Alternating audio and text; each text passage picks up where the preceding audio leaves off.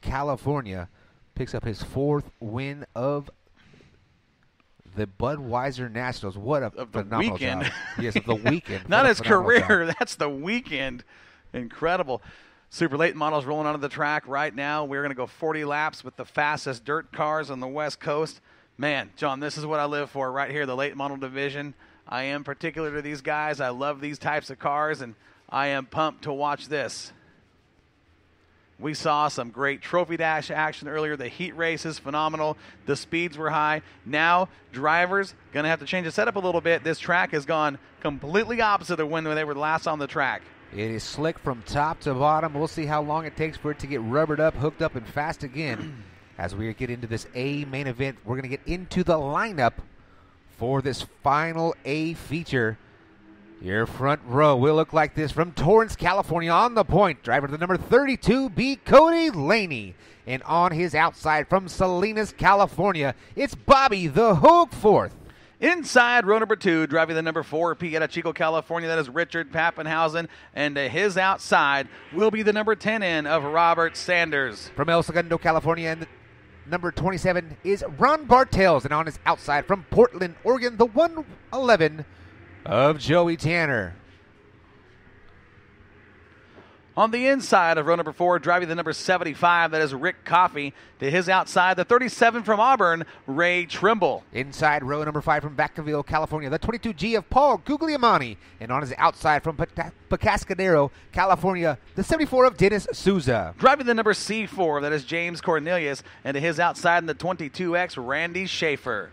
Inside row number seven from Woodlands, California, the 98 of Kylie Ricardo. And on his outside, the 23 JR of Tyler Lightfoot. Driving the number 27 in, that is Nick Martels out of Marina Del Rey, California. To his outside, the number 23, Mike Lightfoot out of Placerville. And our final row, number nine, from right here in Bakersfield, California, the 28G of Clark Guglielmani, and on his outside, the 9 X. This young man has made his way all the way down from Canada, the 9 X of Cody Schlopp. Cody Schulp in the 9 Triple X, taking over the reins for Cheddar Cheese Jet Reeves, tagging the back of the field for this 18 car 40 lap A main event feature. So Corey, here we go, buddy. This is gonna Man. be a good one right here. It is front row Cody Laney and Bobby Hogue the fourth. Laney looking for another guitar. He swept. He won last night. Looking to sweep the weekend in the late models. Got a great chance to do it, but outside of him, he's got the winningest driver in Budweiser Nationals history, Bobby Hogue. Looks like we got some problems with it. Ron Bartels out there. The bottom side of turn number two. Looks like he's pointing out, hopefully just pointing out some debris that may be on the track. No, looks like he's going to get the push from the tow truck. So a brief little moment right here before we get started for this A main event.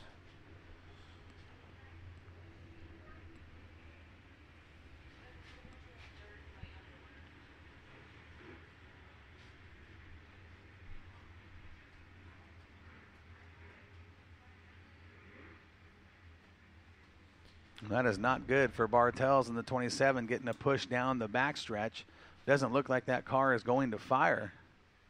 He may be making an early exit before the show gets started. I can't tell if that's the.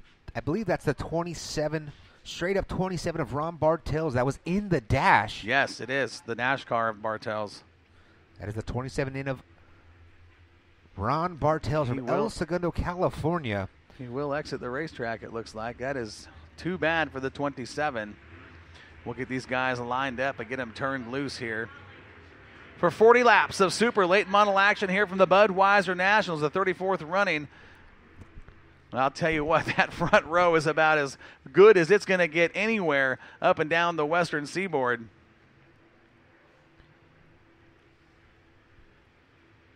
Get these guys lined up side by side, bumper to bumper before we turn them loose. It's Cody Laney and Bobby Hogue the fourth. Your front row. Richard Poppenhausen and Rob Sanders, row number two.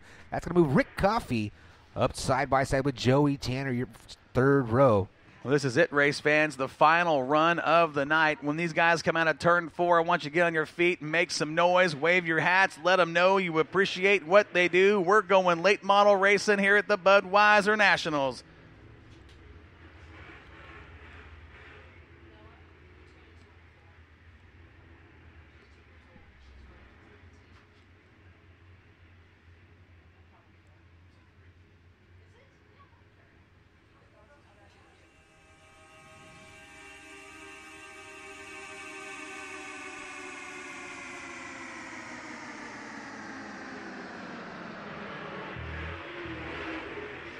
Great start for Cody Laney in the number 32.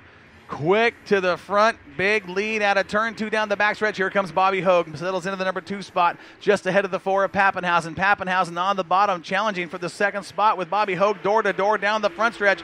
Joey Tanner now moves into the number four spot. Tanner rolling around the bottom, trying to get by Pappenhausen out of turn number two. Let's see who's got the forward bite down the backstretch. Tanner looking very good on the entry. Pappenhausen's got the momentum side of the racetrack. Lap traffic right in front of your leader. Lightfoot off the pace. He'll make his way off the track through turns one and two. Cody Laney running around the top side of the racetrack. Bobby Hogue tried the bottom. It didn't work out for him. Tanner now slides by the four of Richard Pappenhausen. Tanner sits in the third spot. Going to go to work on Bobby Hogue.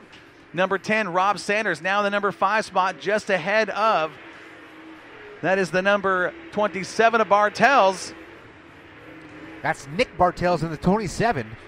Nick Bartels, in number 27, working right underneath Rob Sanders down the back straight, side by side, going into turn number three. Now we got a battle on our hands for that number two spot. Here comes Joey Tanner, door to door at the stripe with Bobby Hogue the fourth, as they drive down the turns one and two. Unbelievable what Joey Tanner is doing on the bottom of the racetrack, something we have not seen anybody do in the late models tonight. They've all been around the top, and he is the one guy right here in the feature making the bottom work in the top three with a crate motor in that East Side Paving 111 of that Joey Tanner. That is a very unique chassis. That chassis actually manufactured up in Oregon in the Pacific Northwest by Mike Miller, the X Factor VS1 with a CT525 crate engine. It has been a dominant package up in the Northwest. 14 feature wins to Tanner's credit here in 2019. He has been phenomenal. Right now, he finds himself on the bumper, the 32B of Cody Laney sitting right next to Bobby Hogue here on the restart. Bobby Hogue's been up on the high side, and Joey Tanner's been working the bottom side. So it's going to be interesting to see if Tanner can get up to the 32B of Cody Laney. If Cody Laney's going to decide to stay up there on the high side, or if he's going to try to come down and run the bottom to try to block that line from the 111 of Joey Tanner from all the way from Portland, Oregon. Joey Tanner will be making the jump to modifieds next season. He just sold this car a couple of weeks ago. New owner Pete Bound, owner of HG Racing, one of the sponsors tonight, putting up $5,000 towards the $6,000 addition to the purse. Hired Joey Tanner to drive the car here for the Budweiser Nationals. I said that's a pretty smart move. I was speaking with Joey Tanner down at Salty's Barbecue and Catering early in the week on Thursday, and he said he picked up multiple A main event victories in that 111 this year up in Oregon. Now he's looking to pick up a Budweiser National guitar, but he's got to get through the 32B of Cody Laney from Torrance, California. Well, he did say this is one of his bucket list races. Isn't it for everyone in any type of car, John? Absolutely. if you can get a Bud Light or Budweiser guitar here at the Bakersfield Speedway, that is something nobody can take away from you. That is very, very prestigious in each and every level as the lights are going out. We're going to get the green flag this time off of turn number four. It is Cody Laney from Torrance, California, all out front by himself. Okay, four down, 36 to go out of turn four. Looking for the green flag. We've got it. Cody Laney runs right down to that low groove, takes that line away from Joey Tanner here on the restart, right back to the top of turns one and two. Laney bounces off the curb at the apex of the top of turns one and two, and Joey Tanner trying to get by the two of Hogue as they're in a heated battle for that number two spot. Hogue around the top at a turn four. Tanner moves into the second spot at the stripe, followed by Hogue, Pappenhausen, and Sanders. Your top five here on lap number five. Cody Laney all the way up on the high side of turns one and two. You can see his entry high in the three and four once again. Joey Tanner down on the bottom side off of three and four. Bobby Hogue also running the top side off of turn number four. Good battle between Bobby Hogue the fourth and Joey Tanner for that number two spot. But from fourth on back, it is a gaggle of cars, and they are getting after it. Bumper to bumper, door handle to door handle. The top four cars all comfortably running with a lot of room, the exception of Tanner and, and Bobby Hogue. What a race for the second spot on opposite grooves of the racetrack. Tanner in the gutter, Hogue on the top shelf. Tanner drifting up just a bit right in front of Bobby Hogue on the back straightaway, getting that good arc into turns three and four. Gets the car set, gets the left tires in the good stuff off of turn number four. And Bobby Hogue is right there in his right rear quarter panel at the stripe. Hogue looks like that top line is really coming in for the 2H as he's now side by side with Tanner. We're now at the advantage into turn number three. Tanner has committed to that low groove, trying to get that car to rotate through the center. It is momentum on the top side as Bobby Hogue takes away that number two spot. You could see that last time by Tanner missed his mark just a bit and got a little off of the groove on the bottom side of the track, and that's why Bobby Hogue was able to get back by and take over that second position once again. Cody Laney already looking at the backside of the the field. Pair of you got the one of the Lightfoot cars and the C4 machine just ahead of him, along with the 98 of Kylie. This this could be one of those deals that if you can't get clear him, if you can't clear him fast enough, it's going to hold him up. He was right around him on the high side.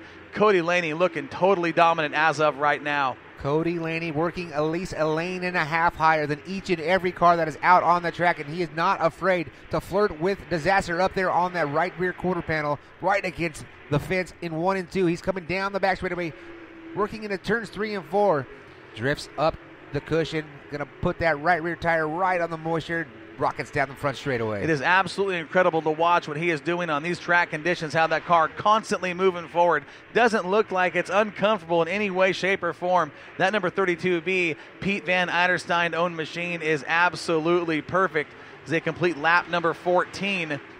Now we have Joey Tanner in un- unfamiliar territory, now running the top side around this lap traffic in one to. T- going into turn number one, you can see that car just doesn't quite get into the to the top groove as well as that 2H of Bobby Hogue the fourth as he tries the top side once again in three and four. Bobby Hogue stretches that advantage once again off of turn number four. Joey Tanner seeing what the 32 and the two machines are doing says, you know what, I got to try it. The bottom's not working. Steps it up to the top shelf, puts the right rear in the cushion. And right now, Bobby Hogue is actually inching away from the 111 of Tanner. They run one, two, three, and they have completely separated themselves in the fourth place car. Pappenhausen, who is battling the 27 of Bartels for fourth and fifth.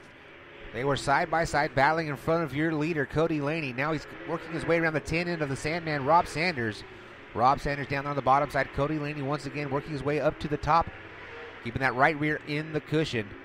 As he works down the back straightaway, you can see the yellow light on top of that number 32B. That is a token, token note that that is Pat Van Interesting, number 32B, as the yellow light flashes on top of that vehicle as he's leading with 18 laps down, 22 laps to go. Now Tanner going to dive back, back down to the bottom groove to see if he can make something happen.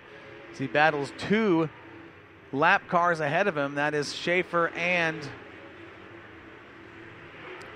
Schaefer and Guglielmani. Pair of 22s ahead of the 111.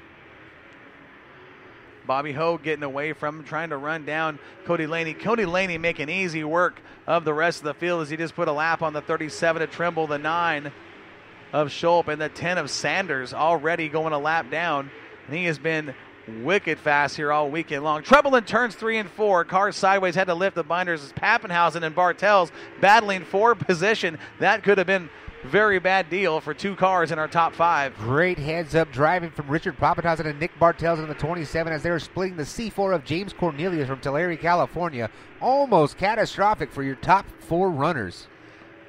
Right now, Bartels sits in the number five position. The next car behind him. Trouble for Sanders in turn four, the 10 in. Heavy damage to the backside of Bobby Hogue. The rear spoiler and quarter panel hanging off that car. There had to be contact with the 10 of Sanders. That is a bad deal for Bobby Hogue, who sits in the number two spot. That is not something that Bobby Hogue, the fourth, wanted to see. That ripped off the right rear spoiler. The it took off the whole quarter panel, part of the rear deck, and half the rear spoiler, John. That's a lot of damage. That's going to change the way that car handles on these dry, slick conditions. That car's going to have to go to the pit area to get that repaired unless he can find a friend out there to get that ran over and they can pull it off of the car. on the track. If not, he will have to go to the pit area, have that removed, and he will have to tag the back. Well, I'll tell you right now, one of the Guglielmani cars, those are team cars, may be looking to do just that. See if they can't get him up and drive over the backside of that metal and pull it off the race car. Bobby Hogue trying the Sawyer method, trying to shake it off. Does not want to lose.